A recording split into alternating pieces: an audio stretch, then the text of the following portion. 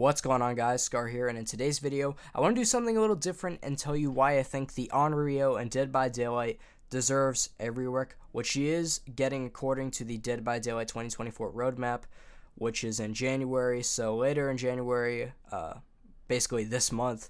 Also, Happy New Year everyone, hope you are enjoying New Year's Eve or New Year's whenever you're seeing this, but Basically, I want to tell you why I think her base kit is super busted and why I think you should currently use her now before her rework comes into play later in January. So let me give you my thoughts onto why I think Sadako, or the Onryo, deserves a rework. First off, there's no real counter to her for survivors, and really, it's really easy for her to condemn survivors late or early in the game. Basically, if you guys don't know what condemn means, basically her one of her abilities is after hitting survivors and teleporting the TVs a ton, they eventually become condemned as long as the survivors are not holding a tape. So they have to hold on to tapes in order to not be condemned. If they don't, they will be condemned. You can hit them, kill them, and mori them quickly.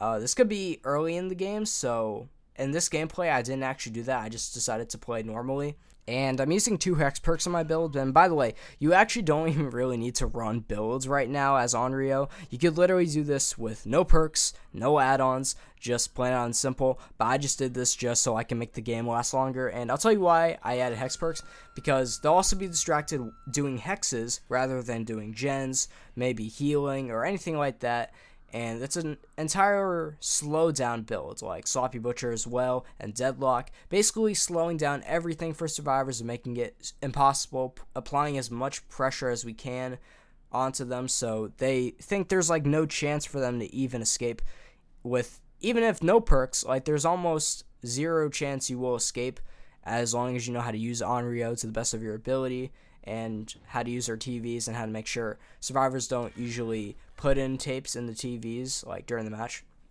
And the only real way to play against Onryo is to take a tape during the beginning of a match and put it in a TV when it first turns on during one. So apparently before, Condemn actually used to work in a way where it would only apply to people when they were near TVs. But now it applies map-wide to any survivor who aren't holding tapes. So that makes it very difficult for survivors to actually you know, like counter Sadako and her ability to condemn survivors.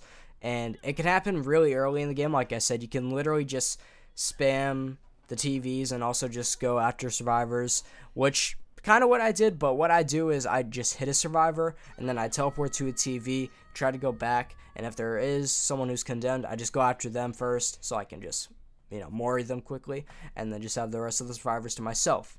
It makes it very easy for any Onryo player but you know, it makes it super OP for her and never the survivors. So unless you are absolutely nerd knowledge with Onryo, you're likely not going to escape and you might all be worried by the end of a match with her. So if you are currently going against an Onryo, just know that you might be fucked. But also just try your best and see if you do make it out still, maybe through hatch or something. But yeah. And like I said, you really don't need any skill as the Onryo. You could literally just play her blindfolded and probably somehow still win with her. Even if you're still playing normally and just trying to hook survivors, you'll still probably end up winning. Like, I could have probably gotten all these survivors down easily at the beginning of the match, but I wanted to play in the condemn play style and just kind of teleport between TVs, hit a survivor, teleport again, go hit another survivor, and just keep repeating the process. Make sure they aren't putting tapes in the TVs and making sure they all are all eventually becoming condemned and making it impossible to actually do anything in a match. So on Survivor side, is this is like very difficult to go up against, and I don't see how you could anyway. Like I don't even know how you could tolerate it in any way. Like if an Onryo's talking shit, just know that like they're a bitch. But to be honest, I don't see a lot of people actually abusing her base kit right now. I might be the only one. Maybe there's some other ones, but like if you want to, like if you really want to, just you know put perks, no perks, no add-ons or whatever. Just play as Onryo until she gets that rework. I'm not sure when the update is coming. I just know from the roadmap that it's coming in January.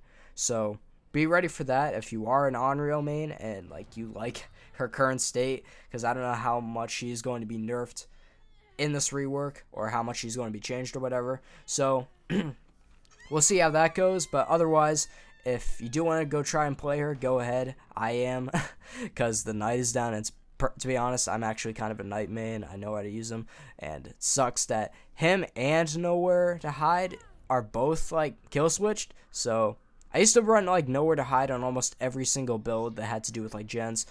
Now it's like most of the killers, so like I have to try other builds, which is fun still, but like that perk is so OP.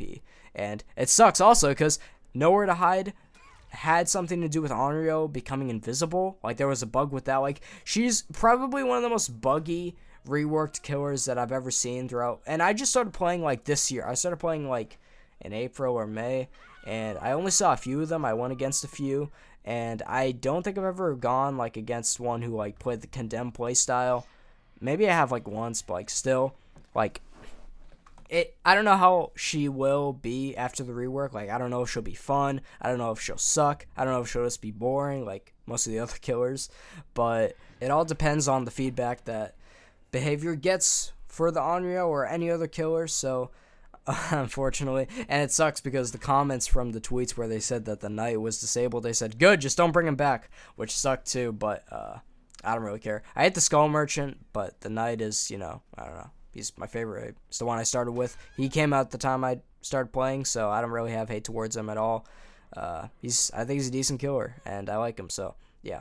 But I'll end the video here. Uh, actually, I'll keep the gameplay up so you guys can see the rest of the game. I eventually just condemn everyone. It's pretty easy, self-explanatory. Go ahead and play her currently before the rework happens. Just, uh, you know, you can run her with anything. Yeah, like if you like just buy her, just start playing her. Don't like don't even level her up. Just play her. Uh, try to abuse her base kit and everything, and uh, you know, have fun.